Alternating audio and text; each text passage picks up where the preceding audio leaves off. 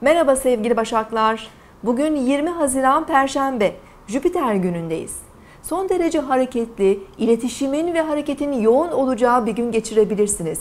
Yakın çevre ilişkileriniz, eğitimle ilgili, işle ilgili faaliyetleriniz e, bugün çok fazla olabilir. Gün içerisinde daha kararlı olmanızı tavsiye ediyoruz. Kararlı olduğunuz takdirde günlük programlarınızı aksatmadan halledebilirsiniz ve günün geri kalan kısmında da daha eğlenceli faaliyetlere zaman ayırabilirsiniz.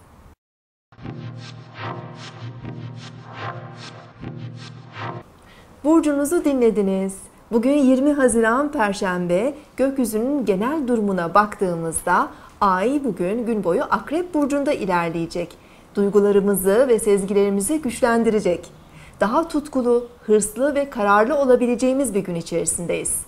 Ay kuzey düğümle kavuşum yapacağı için özellikle ileriye dönük e, adımları daha rahat atabiliriz iş ve özel ilişkilerimizde.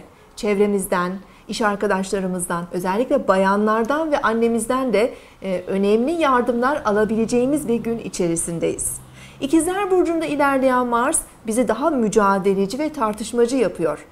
Güneş ve Jüpiter kavuşumunun olumlu etkilerini bugün de hissetmeye devam edeceğiz. Özellikle hava grubu burçlar, ikizler, terazi ve kova burçları iş ve özel ilişkilerindeki girişimlerinde şanslı etkileri bugün de hissedebilirler.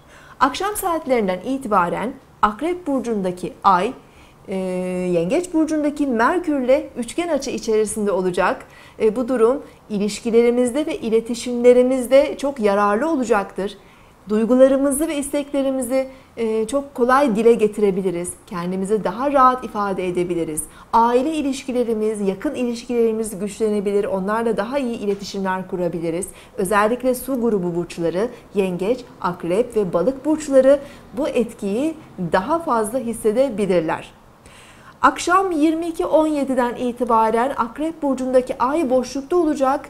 Ay boşluktayken yeni girişimler ve başlangıçlar için e, şartlar çok uygun olmayabilir. Bu nedenle akşam ve gece saatlerini e, dinlenerek, eğlenerek veya sevdiğimiz hobilerle, faaliyetlerle ilgilenerek geçirebiliriz.